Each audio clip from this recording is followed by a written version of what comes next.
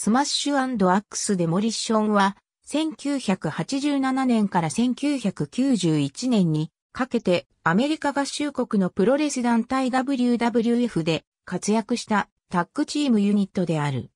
1986年、ビンス・マクマホン・ジュニアの新体制下で全米侵攻を進め、マット界の勢力図を一変させた WWF は、さらなる起爆剤として当時 NWA 地区で大人気だったロードウォリアーズの引き抜きを画策していた。しかし、再三にわたるアプローチにもかかわらず、ウォリアーズとの契約は難航し、彼らのイミテーションを独自にプロデュースして売り出すことになる。そこで誕生したのが、ウォリアーズ同様に、マッドマックスの世界観をモチーフとしたタッグチーム、アックスとスマッシュのデモリッションである。入場コスチュームメンバーには、当時 WWF 版マシーンズのスーパーマシーンに、扮していたビル・イーディが、アックス、ザ・ムーンドックスのレックスことランディ・コリーがスマッシュに起用され、1987年1月17日収録のスーパースターズ・オブ・レスリングにて、プレデビュー戦が行われた。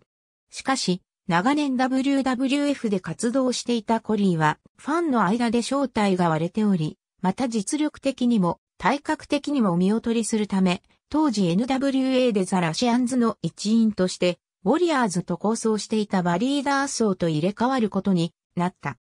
ウォリアーズの大ブレイク以来、その人気にあやかろうと彼らのギミックやコンセプトを真似たタッグチームは全米で様々に誕生していたが、コヨーテとイーグルのアメリカンスターシップ、ロックとスティングのブレードランナーズなど、そのほとんどが当時は無名の新人である場合が多かった。しかし、イーディとダーソーは、それぞれマスクドスーパースターやクラッシャークルスチェフとしての活躍で十分な実績を築いており、ギミックを変える必要のないネームバリューを持っていた。また、両者はウォリアーズの影響下にあったレスラーに、顕著な筋肉マンタイプではなく、プロレスラー然としたナチュラルな体型の持ち主であり、特にベテランの イーディは、試合巧者としても高い評価を得ていた。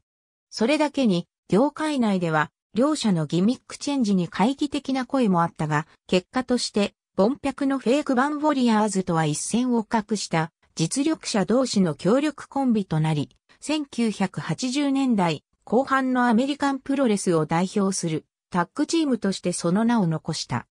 また、顔面ペイントを施しているものの髪型は、モヒカン刈りではなく、スターウォーズのダース・ベイダーを思わせる甲冑や、マッドマックス2のヒューマンガスを意識したコスチュームも、ウォリアーズとは差別化されており、彼らの単純なコピーではない、WWF オリジナルのユニットであることが強調されていた。ジョニー・ブイをマネージャーにヒールの大型タッグチームとして1987年3月14日のサタデーナイトメインイベントにて本格的なデビューを果たす。以降、ジョニーに代わってミスターフジが専属マネージャーとなり、ブリティッシュブルドッグス、キラービーズ、ルージョーブラザーズ、ヤングスタリオンズなどのチームを下し、1988年3月27日のレッスルマニア4でストライクフォースから WWF 世界タッグ王座を奪取。その後、11月24日のサバイバーシリーズ1988で、マネージャーのフジと仲間割れしてベビーフェイスに転向。同年6月に NWA から WWF に移籍してきたロードウォリアーズの完全なフェイク版であるパワーズ・オブ・ペイントと抗争を展開した。1989年7月18日、ブレーンバスターズに敗れ1年4ヶ月間にわたって保持していた王座を奪われるが、10月2日のサタデーナイトメインイベントで奪回。しかし、12月13日にコロッサルコネクションに敗れて、再び陥落。以降、王座をめぐるコロッサルコネクションとの構想がスタートし、1990年4月1日のレッスルマニア6で奪還に成功、3度目の体感を果たした。直後の4月13日には、東京ドームで行われた日米レスリングサミットに来日、ジャイアントババアンドレの大巨人コンビと対戦している。1990年の下期、リージョン・オブ・ドゥームの WWF 移籍が決定する。これに伴い、デモリッションはヒールターンしてロードの抗争相手を担うことになったが、アックスの体調不良のため、3人目のデモリッションとして、クラッシュが加入。タッグ王座は、三者共有のものとし、クラッシュがスマッシュのパートナーとなって防衛戦を行い、アックスは、プレイングマネージャーとして、セコンド役を務めるようになった。同年8月27日のサマースラム1990では、スマッシュクラッシュが王者チームとしてハートファウンデーションの挑戦を受けたが、ロードの介入により防衛に失敗して王座から陥落。以降、ロードとの遺恨試合が繰り広げられた。マネージャーのフジとも復縁して、アックスもフルタイムではないものの前線に復帰。ロードにはアルティメットウォリアーが助っ人につき、3対3の軍団抗争にまで発展したが、11月22日のサバイバーシリーズ1990を最後に、アックスが WWF を退団することになる。アックスの離脱後はスマッシュとクラッシュのコンビでデモリッションを継続させ、1991年3月24日のレッスルマニア7では、天竜源一郎北尾浩二と対戦。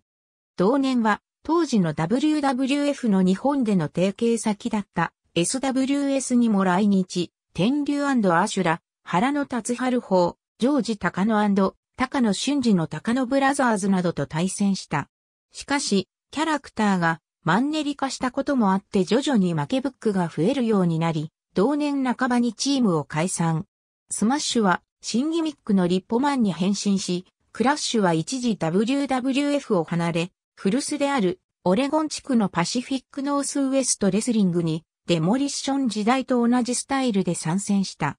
翌1992年にはベビーフェイスのシングルプレイヤーとして WWF に復帰。同年8月29日のサマースラム1992ではクラッシュ対リッポマンというかつてのパートナー同士の対戦カードが組まれた。イーディは WWF を退団してからも同様のリングネームとコスチュームを使い続け、マスクドスーパースター時代の主戦場だった新日本プロレスにも来日した。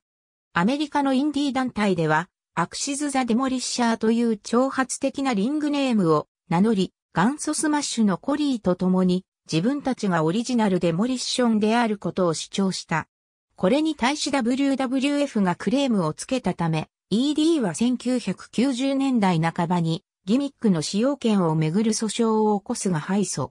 それ以来、ED は WWE と絶縁状態であり、またアダムスも2007年8月13日に死去したため、WWE のリング上でデモリッションが再結成されたことは一度もない。しかしメンバー同士の間柄は良好で、イーディとダーソーは、アダムスの死去から約6週間後の9月29日、彼への追悼も込めて、フロリダ州オーランドのクスワで16年ぶりにコンビを再結成。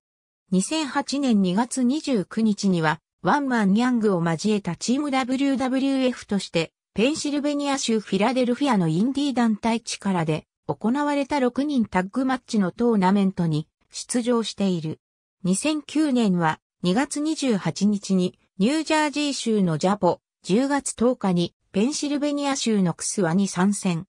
2010年は9月25日にケベック州モントリオールのと10月29日にニューヨーク州クイーンズの ICW、11月13日にイリノイ州のパオに登場。2011年5月21日には、ローの姉妹団体だったフィップの PPV フルホース2011に出場した。2012年12月1日には、ウィスコンシンのインディー団体 GLCW にて上海ピアーステックススラシンジャーと対戦した。ありがとうございます。